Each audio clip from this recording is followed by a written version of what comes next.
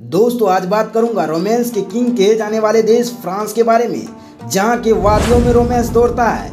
यहाँ की सोसाइटी और कल्चर इतना डिफरेंट है कि सुनकर सर पीटने लगेंगे। फ्रांस यहाँ के स्कूलों में कॉन्डोम बढ़ता है। फ्रांस के लोग शादी से अच्छा कुंवारा रहना पसंद करते हैं। यहाँ की कुंवारी लड़कियों के होने वाले बच्चे के असली बाप कौन है? इनका इन बच्चों को कुछ अता पता नहीं चलता है। एक ऐसा देश जहाँ मरे हुए इंसान से शादियाँ रचाई जाती हैं। जी हाँ चौंकिए मत। बस इस वीडियो में बने रहिए, सब पता चलेगा। तो चलिए without wasting more time video को स्टार्ट करते हैं। दोस्तों, फ्रांस के लोगों में बहुत कम उम्र में ही रोमांस की भूत सवार हो जाती है। यहाँ की लड़कियाँ सोलह की उम्र आते आते अपनी वर्जिनिटी खो देती हैं, जिसके वजह से कुमारी लड़कियों में प्रेगनेंसी की तादाद काफ़ी बढ़ गई है। हंसने वाली बात यह है कि इनके होने वाले बच्चे को अपनी मम्मी के बारे में तो मालूम होता है, लेकिन इनके असली बाप को इन बच्चों को इसका कोई अता पता नहीं चलता है। वेल गाइस फ्रांस के स्कूलों में दसवीं क्लास के बच्चों को अन्य सब्जेक्ट की तरह सेक्स की एक अलग क्लास लगवाई जाती है और इस क्लास में बच्चों को बेहतर ढंग से सेक्स के बारे में एडुकेट किया जाता है। नॉलेज के लिए आपको बता दूँ फ्रांस के तकरीबन 90 परसेंट स्कूलों में कॉन्डोम के लिए वेंडिंग मशीनें लगवाई गई हैं। इस मशीन को लगवाने की वजह यह है कि यहाँ के स्टूडेंट अपने पार्टनर को सेफली सेक्स कर सके, जिससे कुमारी लड़कियों में होने वाले प्रेगनेंसी की तादाद कम हो सके। बताइए, ऐसे देश के स्कूलों में ही गवर्नमेंट ऐसे ऐसे सुविधा उपलब्ध कराएँगे तो लाजमी वाली बात है। बच्चे तो ठरकपन का शिकार होगा ही। जैसा कि आपको बताया था, फ्रांस में मरे हुए इंसान यानी मुर्दों से शादी रचाई जाती है। आपको ये भी बताया, यहाँ के कुछ लोग अधिक उम्रों तक कुवारा रहने में रुचि रखते हैं और अपने एक से अधिक पार्टनर के साथ लिविन में रहते हुए खूब मौज मस्ती करते हुए ज़िंदगी गुजारते हैं। दोस्तों, आपको मालूम होगा, किसी काम को लिमिट में करने से नुकसान नहीं के बराबर होता है। वही लिमिट क्रॉस करने की कोशिश करता है तो उसे भगवान भी माफ़ नहीं करता।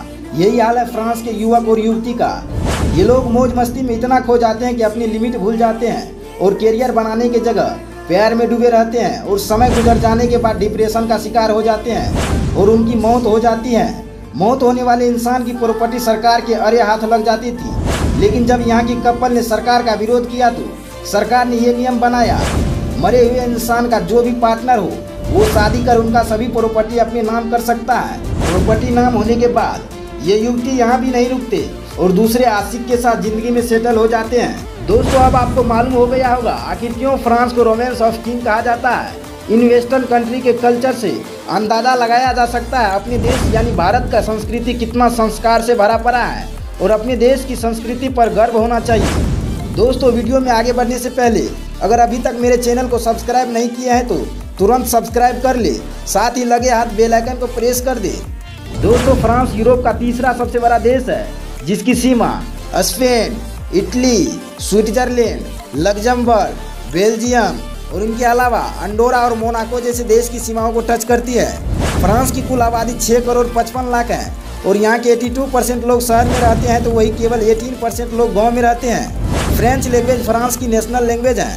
गाइस फ्रांस की कैपिटल यानी पेरिस में वर्ल्ड फ़ेमस एफिल टावर स्थित है, जिसे देखने के लिए प्रत्येक साल फ्रांस की आबादी से भी ज़्यादा लोग इन एफिल टावर को देखने के लिए आते हैं, जिसकी वजह से फ्रांस अपने जीडीपी का 10 परसेंट ग्रोथ तो इन टूरिस्टों से कर लेता है। दोस्तों, मुट्ठी भर का तो फ्रांस देश है, लेकिन एक समय था, पृथ्वी के 26 देशों को कब्जा कर रखा था, और ये 26 कंट्री फ्रांस से आज़ाद होने के लिए ही अपना इंडिपेंडेंस डे मनाते हैं। दोस्तों, एक बात सुनकर आपको थोड़ी सी हैरानी हो सकती है, यहाँ के एक राजा लुइस एलेवन थे, जो केवल 20 मिनट के लिए ही यहाँ के राजा बन पाए थे। जी हाँ आपने सही सुना। हुआ ये कि राजा बनने के 20 मिनट बाद ही इनके पीठ में ज़ोर की पेन हुआ, जिसका सहन कर नहीं पाया और तुरंत उनकी मौत हो गई। दुनिया का सबसे ज़्यादा दिनों तक जीने वाला इंसान जेन लुइस क्लेमेंट था, जो कि फ्रांस का नागरिक था। ये 122 साल और एक सौ चौंसठ दिनों के बाद अपनी अंतिम साँसें ली। इनका जन्म हुआ था 21 फरवरी सन अठारह सौ पचहत्तर ईस्वी को, और ये 4 अगस्त उन्नीस को इस दुनिया से विदाई ले ली। फ्रांस में कोई भी प्यार में डूबे इंसान रेलवे स्टेशन पर किस नहीं कर सकता? यहाँ के गवर्नमेंट मानते हैं कि किस करते समय कपल अपनी अलग दुनिया में रहते हैं और ट्रेन आ जाए तो उसे खतरा हो सकता है। गाइस फ्रांस में होमोसेक्सुअल को आपस में रहने का मान्यता दे रखे हैं। कहने का मतलब ये, समलैंगिक यानी लड़का लड़का से और लड़कियाँ लड़कियाँ से शादियाँ रचा सकते हैं। अमेरिका के न्यूयॉर्क शहर में स्थित बहुत ही फ़ेमस स्टेच्यू ऑफ़ लिबर्टी उसे अमेरिका नहीं बनवाया, बल्कि फ्रांस के द्वारा गिफ्ट के तौर पर अमेरिका को दिया गया था। फ्रांस में पुलिस स्टेशन और पुलिस और उनकी गाड़ियों और मुजरिमों का बिना इजाज़त के तस्वीरें लेना अपराध माना जाता है और तस्वीरें लेते पकड़े जाने पर जेल की प्रावधान है। दोस्तों, आपने देखा होगा, इंडिया के होटल और रेस्टोरेंट में बचे हुए खाने को वेस्ट में फेंक देते हैं, लेकिन फ्रांस में ऐसा करना जुर्म माना जाता है, क्योंकि यहाँ के गवर्नमेंट मानते हैं, कई गरीब और असहाय लोग होते हैं जो एक वक्त का खाना खाने के लिए तरस खाते हैं और भूखे सो जाते हैं। इसलिए यहाँ के गवर्नमेंट का कहना है होटल और रेस्टोरेंट में बचे हुए वेस्ट खाना, आप गरीब और असहाय लोगों में बांट दो। वैसे ये नियम अपने इंडिया में भी लागू होना चाहिए। दोस्तों, अब आपको बताना चाहिए, फ्रांस की वो कौन कौन सी जगह है जहाँ आप घूमने जा सकते हैं? Eiffel tower. दोस्तों, फ्रांस का नाम लेने से दिमाग में किसी चीज़ की तस्वीरें छपती हैं तो वो है एफिल टावर। इस टावर को सन 1889 में टेम्परली बनाया गया था। लेकिन इस टावर को दुनिया भर के लोग इतना पसंद करने लगे कि ये बहुत फ़ेमस हो गया। जिसके कारण इसे हमेशा के लिए ऐसे ही रहने दिया। हर साल जो भी टूरिस्ट फ्रांस आते हैं, वो एफिल टावर को देखने के लिए ही आते हैं। यहाँ खास तौर पर दो प्यार करने वाले कपल, इनके नीचे बैठकर प्यार भरी बातें करते हैं। Mount Saint Michel.